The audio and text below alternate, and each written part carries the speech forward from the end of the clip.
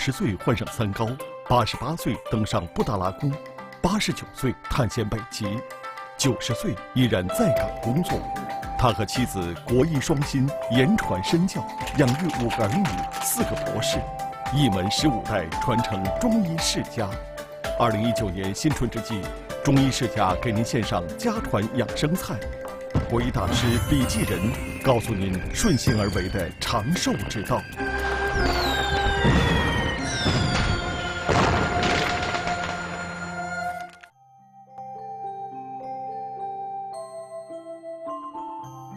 二零一九年新春将至，长江南岸的江城五虎，在一场春雪中披上了银装。雪后的清晨，九十岁的国医大师李继仁的家里，却是一片温暖的节日氛围。今天是腊月二十八，民间有句俗语：“二十八贴花花”，按照传统，是贴新年春联的日子。远在千里之外的孩子们都陆续赶回家中。平时就酷爱书法的李继仁，率先执笔为新年祈福。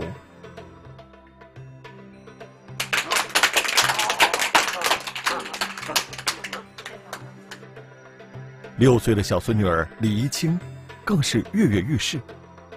她这是要画什么呢？画什么呀，宝宝？李怡清，这是画的什么？寿桃。画给谁呀？爷爷。原来，再过两天就是爷爷的九十岁寿辰。小孙女儿这是画了一幅寿桃给爷爷祝寿。或者不一样。对，人每个桃都不一样，每个桃不一样。生出的四个孩子都不一样。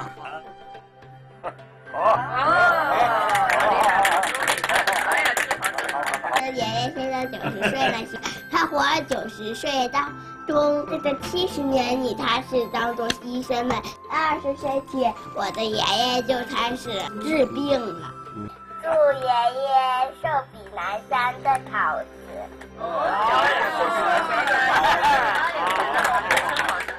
儿子们也争先恐后。为父亲九十岁寿辰祈福祝寿。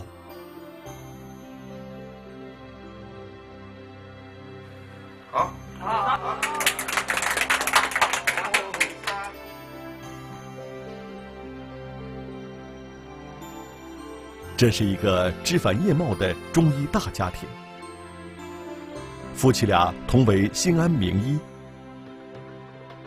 李继仁是中国首批国医大师。妻子张顺华是国家级非物质文化遗产张义帖世医第十四代传承人。五个子女中四位博士。长子张其成是中国首位《黄帝内经》博士，北京中医药大学国学院院长。女儿李艳是广东中医药大学医学博士，安徽省名中医。国医大师李继仁学术传承人，二子李挺是国家级非物质文化遗产张义帖世医第十五代传承人，三子李彪是中国科学院博士，波士顿大学博士后，四子李稍现任清华大学教授，博士生导师。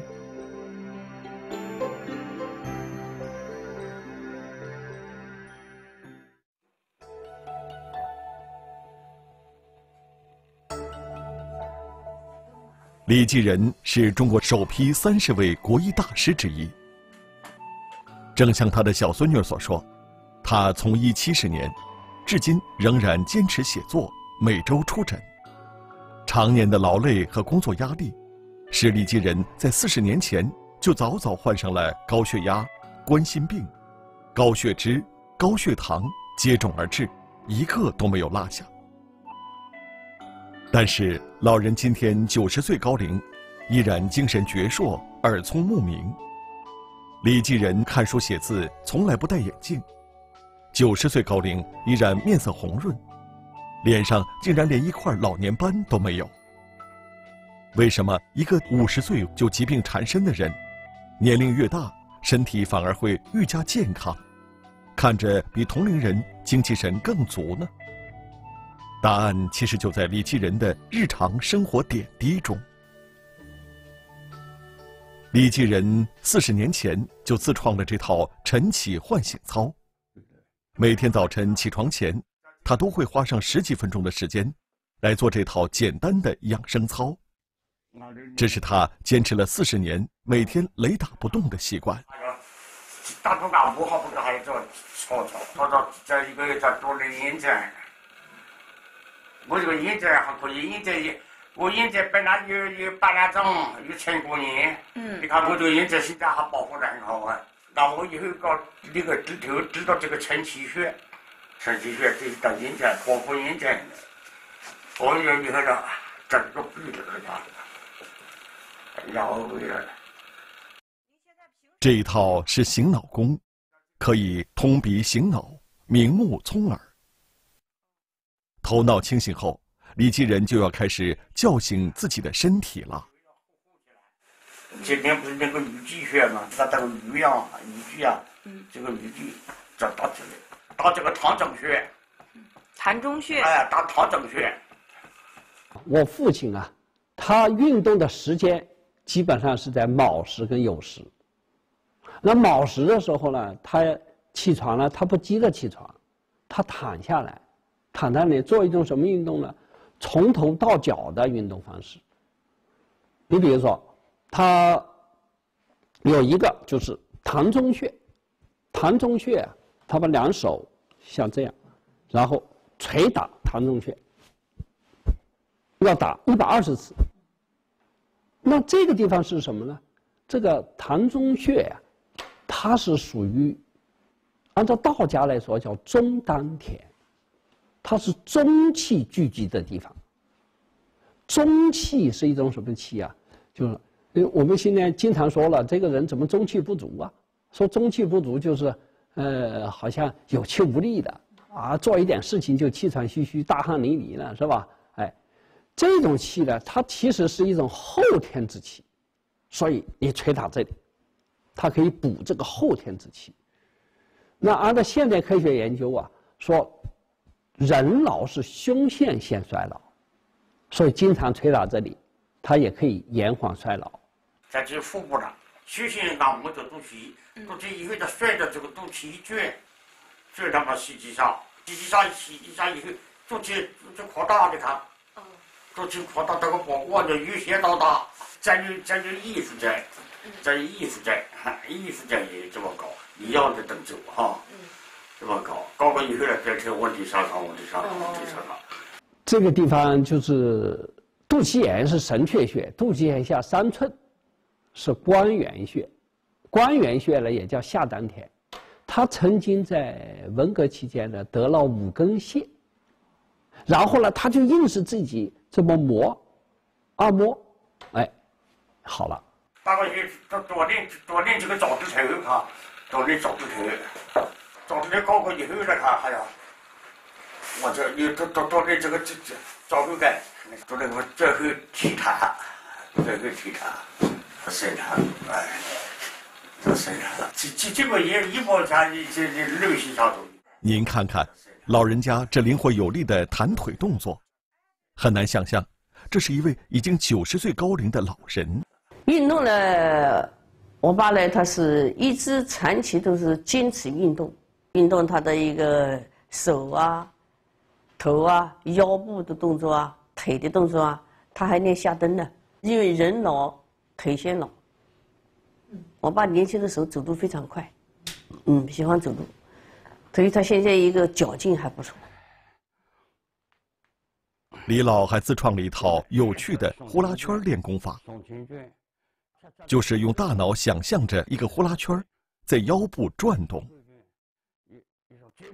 我就每次就思维思维在我这个啊，他我这个哈，哎，就肚子上就这这么转了，转过来就这样这，这个球一样转，好了，再转圈就这边转转，再一条这边转转，一条这边转转，一条左边转，一条右边转，一上前转，一上后转。就思维怎么在那转，不一切都看一切，牵着我就肚里上那转，这不武装老虎都想动嘛，这个好，哎，随时没有事就可以做做，我早上休息就可以做。他这一块地方，他为什么这么关注啊？对吧？他像转呼啦圈，像这么摇摇的时候啊，这个这条脉叫带脉，带脉是连接前面是任脉，后面是督脉，那中间的一圈是带脉，所以他这么想象的这么一个空间。其实是生命的本源之所在，尤其是道家，他特别重视这这块区域，在这里啊，可以叫炼精化气，嗯，他的元气啊，一个人元气如果足了，好，这个人就身体就健康，就能长寿。呼吸吐故拉山呀，呼吸。他的起居是非常有特色的，讲究的一年四季，春夏秋冬四季有所不同。那春夏要养阳，秋冬要养阴，这是《黄帝内经》说的。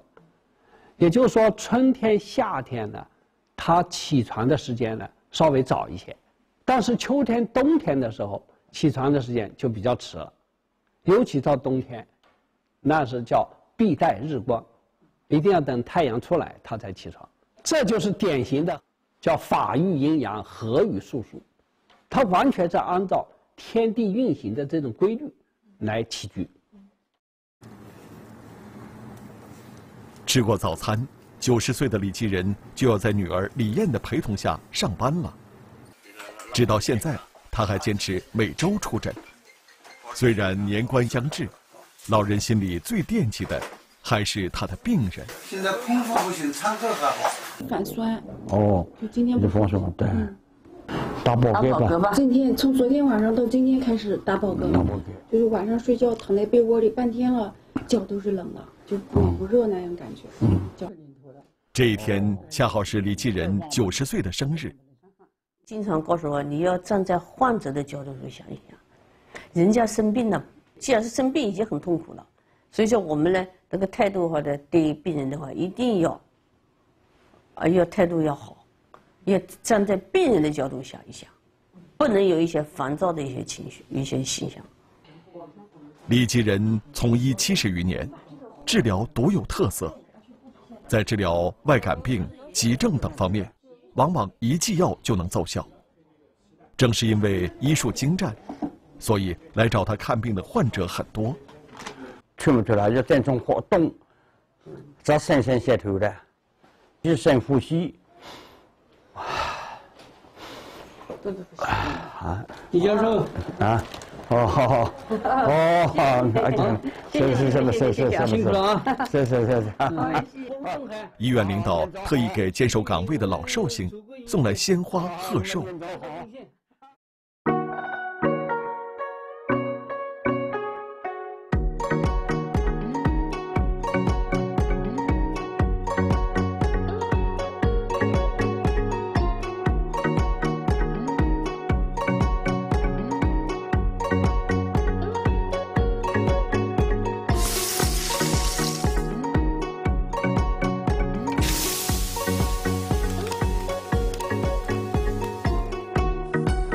华医药邀您一起分享国医名家的年夜饭。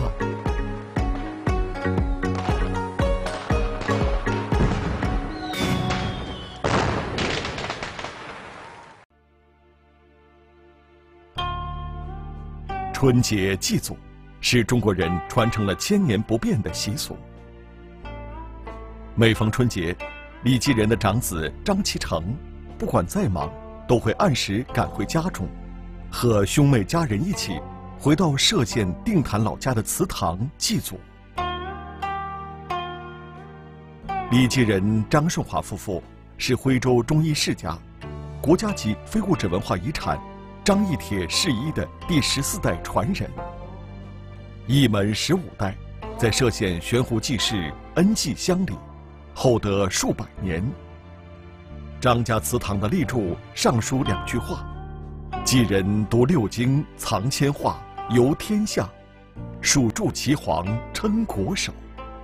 顺华李一家育五子，传事业，心寒雨露是大衣。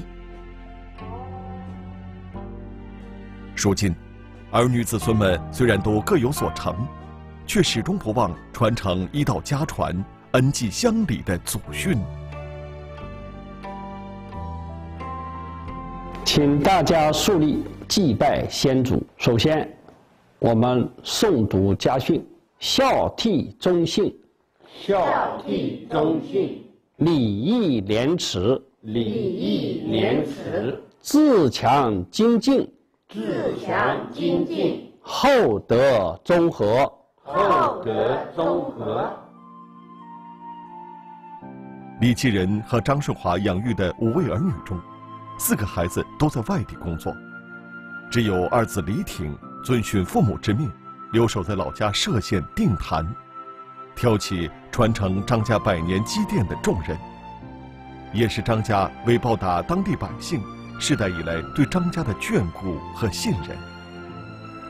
当地百姓间一直流传着一句俗语：“定坛像有车头寺，半夜叫门一铁船。”凡是半夜听到有叫门的响动，一定是碰到乡亲们遇到急症，半夜提着灯笼去求张家看病。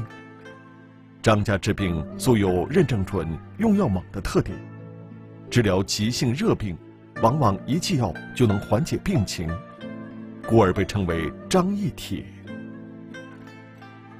春节将近，李挺惦记父母的健康，今天特意带儿子上山去采些当季的新鲜药材，准备在春节去为父母做几道贴心的药膳。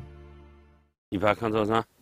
那一颗某群妇，它入药就是根部入药，所以挖的时候不要把根搞断掉了。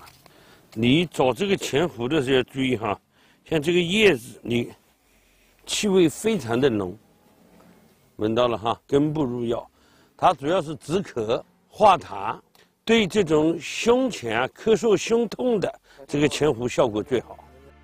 《黄帝内经·上古天真论》，所以能年皆度百岁而动作不衰者，以其德全不危也。德全指的是品德的高尚健全，不危指的是不会危害到身心健康。古人认为，高尚的品德、善良孝敬的心性和行为，是安身立命、长寿健康的根本。转眼就要过年了，还有两个儿子没有回家。妈，今天是哪一天啊？快过年了，他们来吧。他们今天下午陆陆续续都要到了啊！你在外面的几个儿子都要回来了啊！你是不是想他们呢？啊，是啊。我想你过年人丁兴旺，人丁兴旺啊！李继仁的妻子张顺华老人满心期待着一家人久违的一次大团圆。此时，张顺华有一件重要的事情要做。哦哟，怎么一大堆，有好几层，这个里面就有四十箱。他他那个时候他把孙子啊都做好了，也有我们小时候穿的鞋子，你看。这是小鞋，我看到了啊，这是小鞋子，你看一针一线的。我们小时候也都是穿我妈妈拉的鞋底长大的。这满满一箱子的布鞋，有大有小，有男有女，有单有棉，都是母亲张顺华一针一线亲手缝制的。这样的箱子家里有满满三箱，一百多双。母亲张顺华年轻时。不仅挑起张家医术传承的重任，每天出诊还要抚养五个子女。张家以仁厚济贫传家，不论贵贱，随叫随到。在孩子们的记忆里，母亲总是白天出诊，晚上坐在灯下缝鞋补衣。孩子们长大后常年在外，张顺华就把自己的牵挂缝在这密密麻麻的针脚上。积累下这满满三箱子的布鞋每年与孩子们团聚时他都会亲手给孩子们送上自己缝制的布鞋。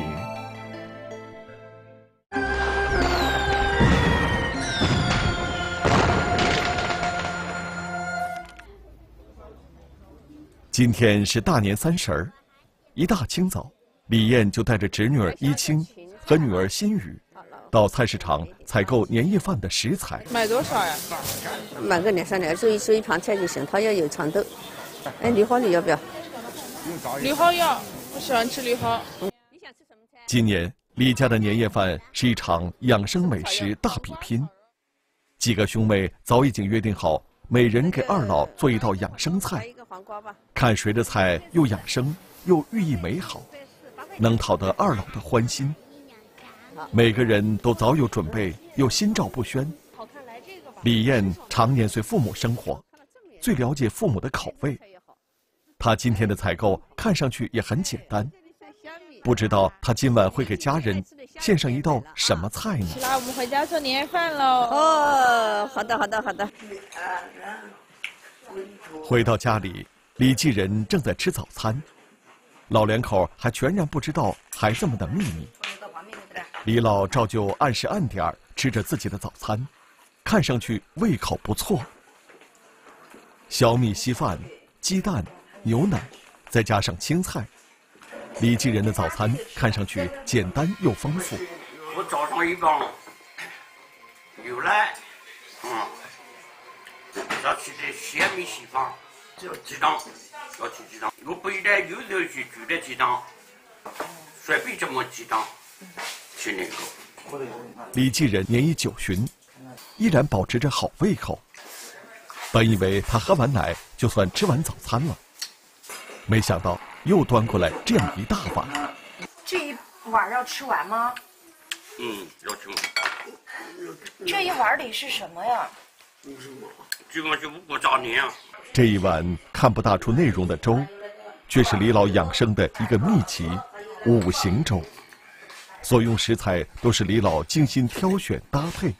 他那个粥啊，叫做也可以叫五行粥啊，哎，然后呢？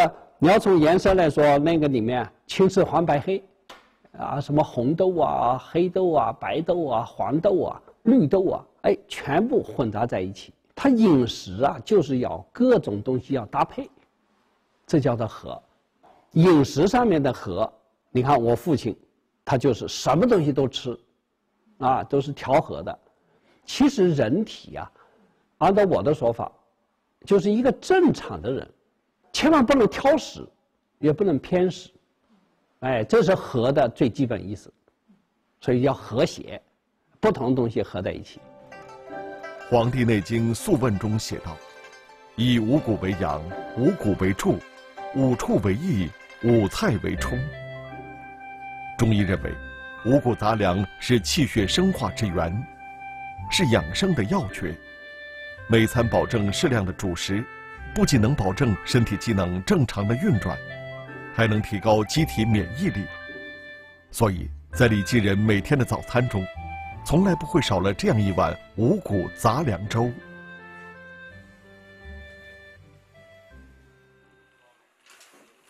虽然年关已至，还有朋友登门拜访，免不了请夫妻俩给把脉看病。夫妻俩不管何时。对待任何一位患者都态度亲和，笑容可掬。比原来都顺多了，但是还疼。李继仁九十岁高龄，依旧能著书立说，给人诊脉开方，思路清晰。老人家是怎么保持大脑的健康呢？我现在天天做锻炼，我现在就锻炼，我怕老年痴呆。他遇到这个老年痴呆，嗯，吧，脑干。脑力有问题，嗯，我就教他怎么锻炼，做这个四个动作，四个动作，嗯，第一个动作。原来李老自有一套健脑、防止老年痴呆的保健大法，啊，转得快，有的有的都转不快，这不好转了。我也转不快。啊，转，第二个动作叫扇，人力扇，叫扇，也也扇要用瓦也山的山，一个停。舔上颚吗？哎，贴到上颚。嗯嗯，最后一个呢，就深呼吸。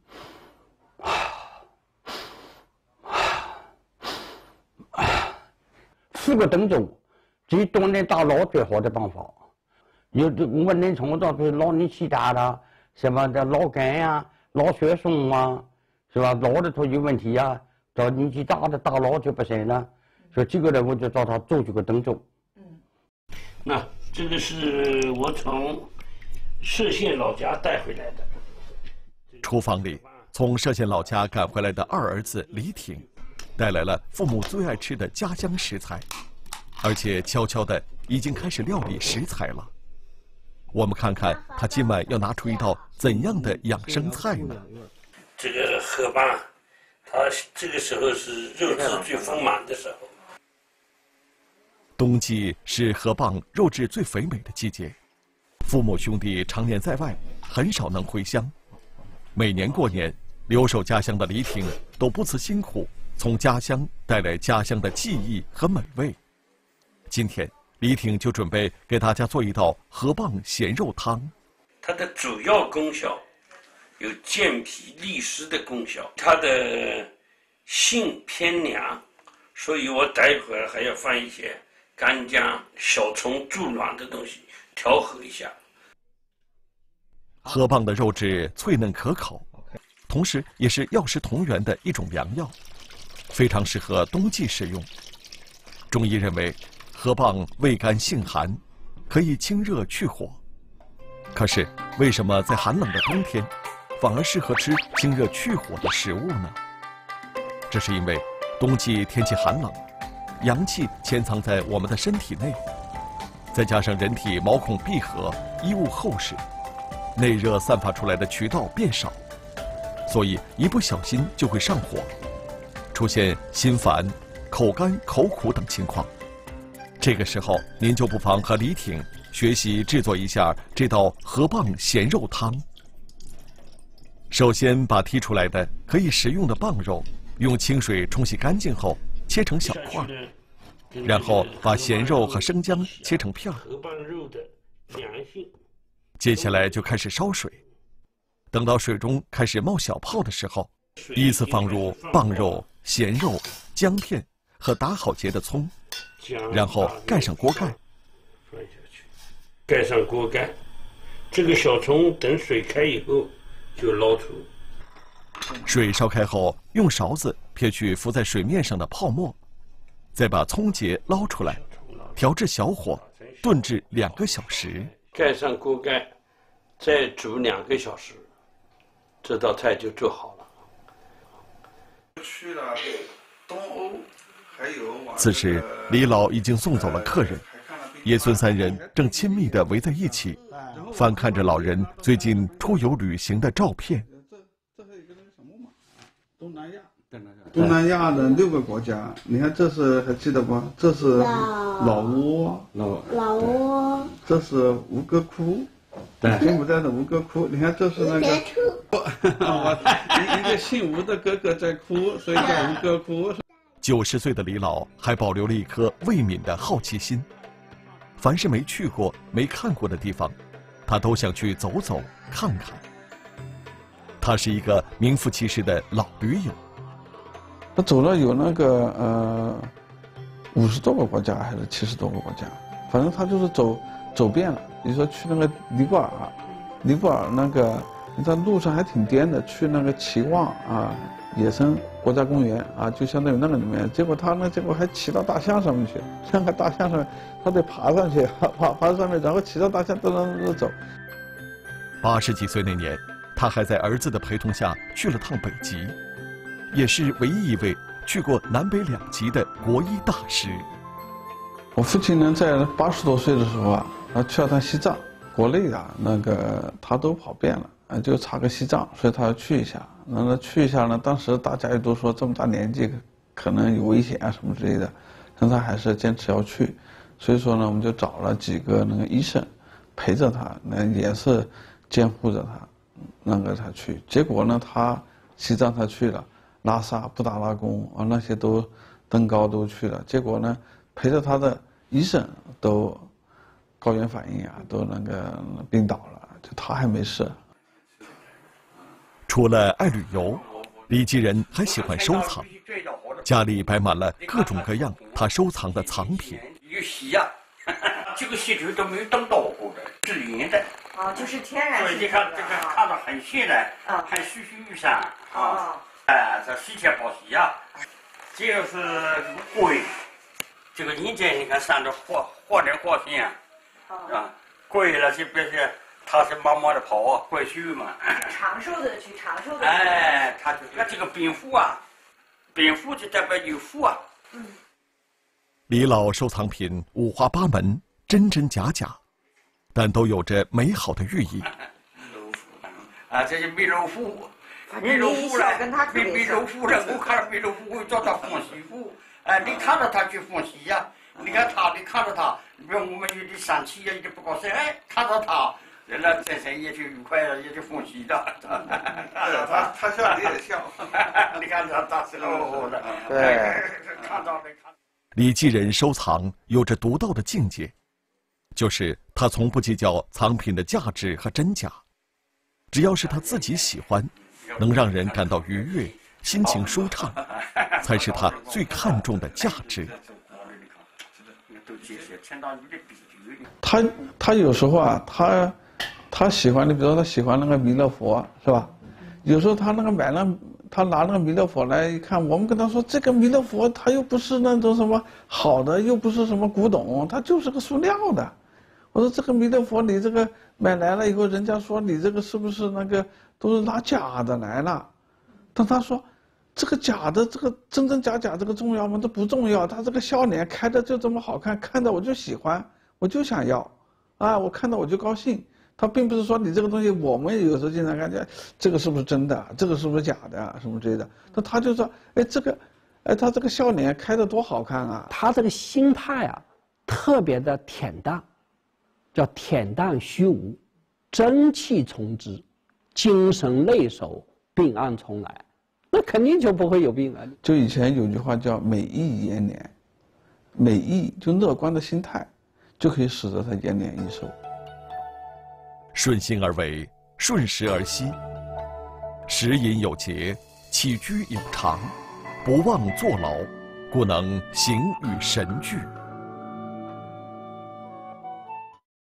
此时，大儿子张其成也赶回家中，除了远在美国的四儿子李彪和澳洲的孙子张一畅不能回家，一家人算是聚齐了，孩子们都争相献艺。那么，大儿子张其成又准备了怎样的美味呢？啊，我今天啊要做的这道菜呢，叫做东省包袱饺。我们徽州，他出去经商呢，都要背一个包袱，这个包袱里面呢要装的有衣服啊，还有那个呃干粮。这个包袱啊，就偷那个抱负，就是理想抱负，就是呃我们出去啊，你是要去呃做生意，生意要做好。啊，然后回来了要关中要主，这是你的抱负，抱负的负又通那个有福的福，抱负脚啊，就是叫我们要四季得福报。包袱、抱福，这个寓意美好的菜肴会是什么呢？原来主要的食材是冬笋，冬笋切成条状，然后在水中煮一下，煮完之后的冬笋条切成碎末。再把荠菜、豆腐也切成末，然后把肉馅儿、冬笋、荠菜、豆腐全部都搅拌在一起，用面皮包成元宝的形状。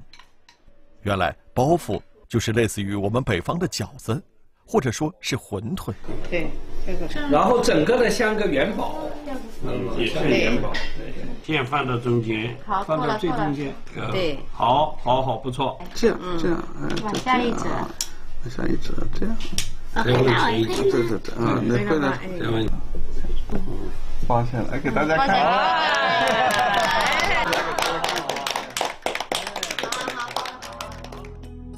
《黄帝内经》中有一句话：“撕碎备物”，意思就是说，要遵循大自然的生长规律，采配食物，才能得天地之精气。而冬季万物收藏，植物的精华居于地下的根茎。冬天吃根，是民间流传已久的养生习俗。冬笋是立冬前后由毛竹在地下发育而成、尚未出土的笋芽。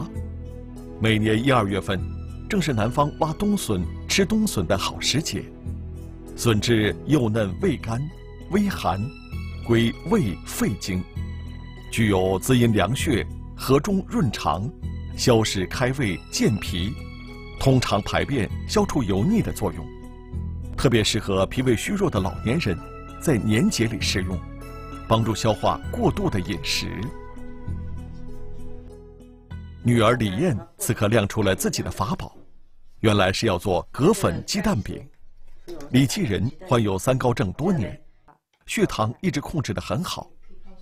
除了老人自己的养生方法之外，也多亏了李艳在饮食上的悉心照顾。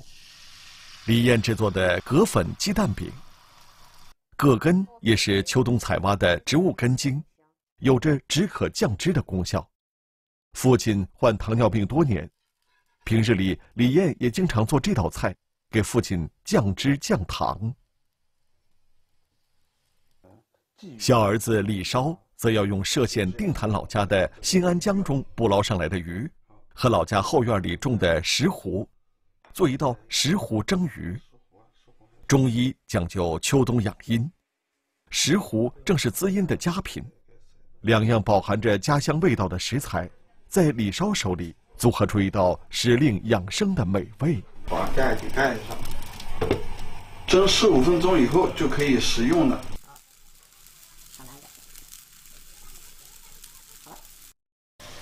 三儿媳做的是徽州特色小吃——香煎毛豆腐。外孙女儿新宇做了一道八宝锅巴。九十岁的李继仁依然有着一口好牙齿，嘎嘣脆的锅巴是他的最爱。孙女儿韩宇今晚该是最用心的一位，她是李继仁家第三代中第一位追随爷爷奶奶身边学医的孩子。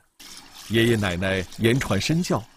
韩宇颇得爷爷真传，他准备的八珍鸡可是个厉害角色。之所以叫八珍鸡，是因为原料中有八味药材。为什么偏偏说这八珍鸡是个厉害角色呢？因为这里面藏着李继仁调理血压的养生秘方。我这个用上茶，一共是四味药。这个四味药里面，是这些寒温本用。你比如讲枸杞子、黄芩、黄芪就偏温一点，西洋参就偏凉一点，所以它这个是寒温本用。要黄芩、枸杞子是偏于补血，黄芪、西洋参是偏于补气。那么这些四味药呢是气血双补，就又补气又补血。今天，孙女儿韩宇在这药茶中的四味中药基础上，经过药性、食材、口味的精心配比，搭配出这道八珍养生鸡，对爷爷奶奶的孝心饱含其中。一天的忙碌后，李继仁家的团圆饭就要开席了。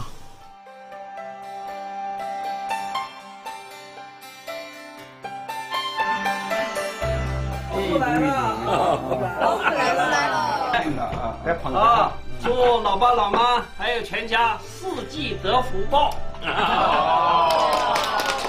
这个菜叫拌肉汤。哎，啊，祝来这个老爸老妈呢，百岁寿而康。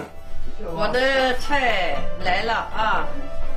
我做的菜是葛粉鸡蛋饼，这个呢寓意就是人间喜团圆。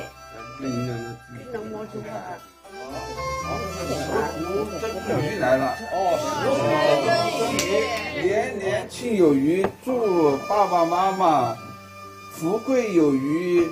来，我的菜是香煎毛豆腐，它的寓意是根在福自来。我的菜是爷爷爱吃的八宝锅巴，它的寓意是和和生万物。这个是八珍鸡。寓意是八方有吉祥，祝我们全家吉祥如意。此刻，远在海外的四儿子李彪，孙子张一畅，也亲手制作了菜肴，祝福父母家人的幸福平安。新年快乐！哦，好，好。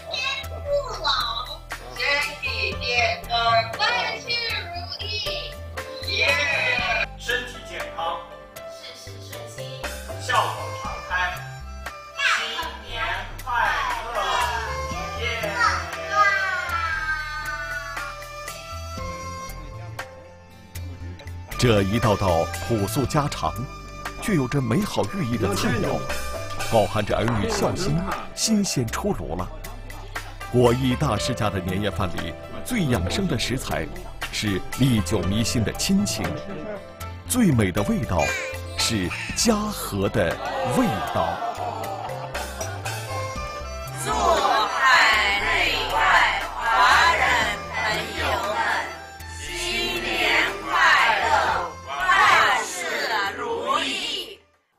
一顿看似普通的年夜饭，却蕴含着四海皆准的养生奥秘。